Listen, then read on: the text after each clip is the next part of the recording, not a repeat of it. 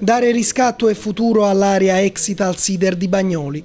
Dopo il recente provvedimento di sequestro a causa delle mancate bonifiche dello stabilimento siderurgico, una tavola rotonda ha riunito i vertici del Comune di Napoli con i rappresentanti sindacali di Bagnoli Futura, la società partecipata del Comune, i cui dipendenti non ricevono stipendi da circa un anno, ma che è stata recentemente rifinanziata.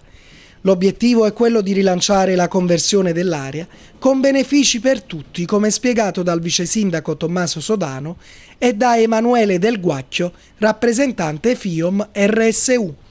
Ma diciamo, il problema non è solo del Comune, il Comune la sua parte l'ha fatta e la continuerà a fare. Abbiamo ricapitalizzato un'azienda che eh, in una condizione normale eh, avremmo, avremmo, dovuto dichiarare una situazione fallimentare. In realtà a questa situazione che va avanti da anni, con gestioni sbagliate, con eh, eh, progetti che non sono stati attuati nei tempi dovuti.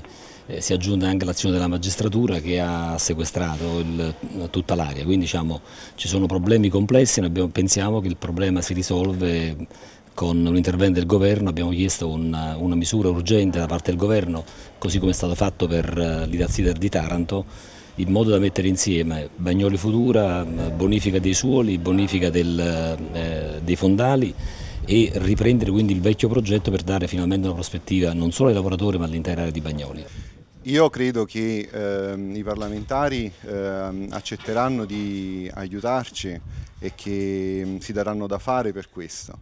Però è chiaro che noi cerchiamo anche delle garanzie che eh, nell'immediato, siccome c'è già un piano strategico che prevede 38 esuberi per quanto riguarda noi lavoratori sia il Comune a doverci garantire a lungo termine la continuità lavorativa.